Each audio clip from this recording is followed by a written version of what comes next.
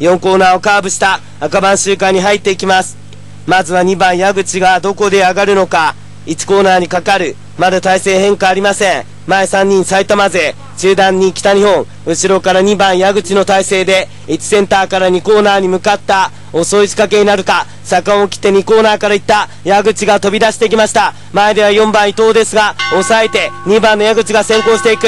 5番の木村、3番川上、8番染染野までで切りました。4番の伊藤が5番手。1番の森田は8番手だ。主導権は千葉勢。2番矢口先行しての最終回。5番木村、3番川上3番手。8番染野、4番伊藤5番手で、1番の森田は8番手だ。2コーナーからバック。中段から4番伊藤がまくるが、逃げる2番矢口。番手少し坂を切った5番の木村。3番川上、その外4番伊藤。